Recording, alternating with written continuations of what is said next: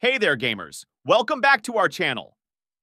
Today we're going to talk about how to fix Destiny 2, the final shape stuck on loading screen on PC.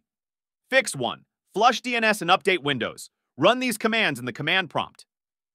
Make sure your Windows is up to date. Fix 2. Increase virtual memory.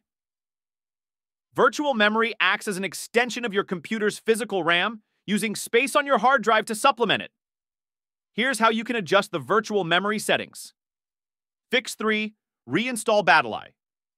To uninstall and reinstall the BattlEye, follow the steps mentioned below. Uninstall BattlEye from your system. Launch the game again. Verify the game files to ensure everything is in order. Fix 4.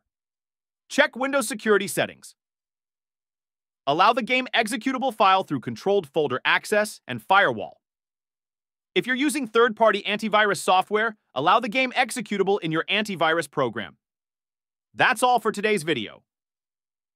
If these fixes helped you to get over the issue, don't forget to like, share, and subscribe. We'll catch you up in the next video. Thanks for watching. Merry gaming!